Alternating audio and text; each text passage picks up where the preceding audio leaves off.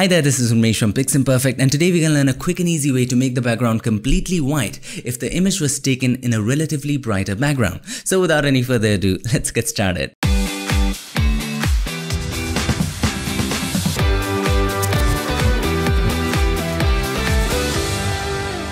So here we are in Photoshop and this photo was submitted by Pasi Järvenpää. Thank you so much Pasi for this photo. Before we begin, I gotta say that if you're looking for a tutorial where you want to make the background completely white but the image that you have taken is not in a bright background, check out this tutorial. The only difference that's gonna be there is that it's gonna take a little more time but that's by far the best way to do it. So this is a really quick way. So the first thing that we have to do is to create a levels adjustment layer. So click on the adjustment layer icon and choose levels. Now we're to use the concept of clipping to our advantage. Now what is clipping?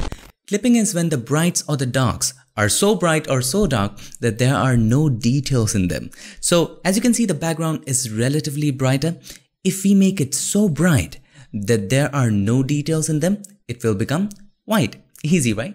So inside of the curves properties, this slider makes the bright areas brighter and this slider makes the dark areas darker. So let's zoom in and we want to make the bright areas brighter so much so that it just becomes white.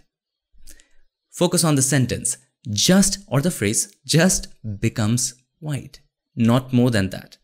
So we have to find that sweet spot. If we go too much, yes, the background becomes completely white, but the hair fries up, the skin doesn't look right. We will take care of that later, but you have to find that sweet spot. So here's how we find the sweet spot. First of all, let's zoom in quite a bit and then take the slider slowly and gradually to the left and just when the background becomes completely white, stop. One great way of doing this is by holding the Alt or Option and then when you take it to the left, you see these artifacts? These are the areas where we do not have any details, which means they are going completely white. So take it to the left and just when it touches the hair, stop. So at this point, I think it should stop. It's kind of too much. Okay, this is a sweet spot. Let's stop right there. But as you can see, some of the areas are still remaining, so we will have to make that sacrifice of hair. Yes, and then hold the Alt or Option and take it more inside. Just stop over here. Alright, this is fine. This looks fine. Let's fit the canvas to the screen by pressing Ctrl or Command 0. Now as you can see, as we added the levels adjustment layer, the background went completely white okay? But the skin is not looking right. She has become more brighter. We have to take care of that. Easy. Make sure you select the mask. All adjustment layers come with the mask and then press Ctrl or Command I. Now the effect has been taken away from the complete image. So here's what we have to do. Zoom in, take the brush and paint the background. Easy. You don't have to be super accurate about this. Just make the brush bigger, make sure it is softer and start painting with white as a foreground color flow and opacity at 100 mode normal. Alright, start painting around the edges first. Make sure you paint only around the edges. Be careful around here. Once you have painted the edges, filling out the rest of the areas is going to be easy. So hold the Alt or Option and click on the mask. You see the mask? Just fill in the rest of the areas. Make the brush bigger, make it harder and just simply fill in the rest.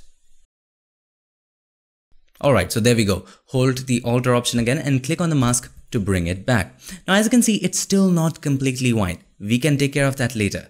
Let's hold the Alt or Option and let's see where it is.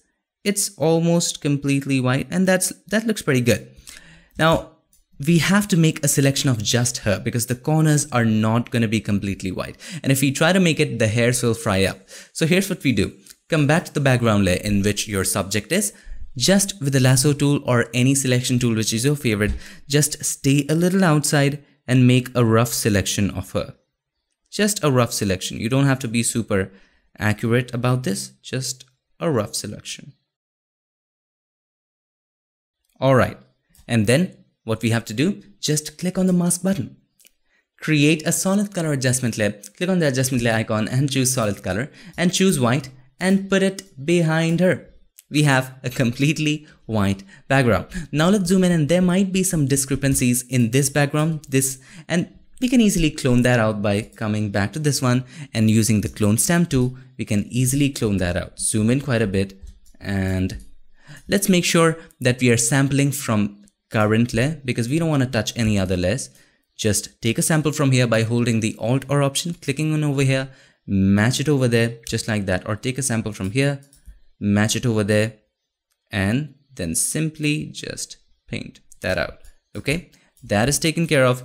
Similarly, you can take a sample, match it right in there, and it's not matching, we have to rotate it. So to rotate it, let's take a sample here or there. Let's take a sample and to rotate it, hold the Alt, Shift and the left arrow bracket key. In a Mac, that would be Option, Shift and the left arrow bracket key. So hold that, it rotates the clone and then just take that away. Easy, right? Let's take a sample and take this away. Similarly, let's take that away. All right, that is taken care of. We have a completely white background. So you can extend it the way you want it. For example, you want to create a sales banner in your website. So press C to open up the crop tool and you can extend it just like this, for example. Let it be like that. Let's press Ctrl or Command 0 to fit the canvas to the screen. It looks pretty good. Maybe you want to extend it even more. So let's extend it even more to this size and hit enter once you're satisfied. As you can see, since the background is completely white by the use of a solid color adjustment layer, it actually fills in that area. Now, you can bring in anything that you like. So I already have in Illustrator one of the things downloaded, one elements. So I'll just select it, copy it by pressing Control or Command C, come back to Photoshop and paste it. Control or Command V. I want to paste it as a smart object, hit OK, and there you have it. Let's make it a little bigger and place it over here. And I want to place it at the top. Now let's resize it by pressing Ctrl or Command T and then resize it the way you like it and we are pretty much done. White background, subject, looking awesome, and there you go. Just so you know, I'm using the same trick to make this background completely white. It's actually a wall.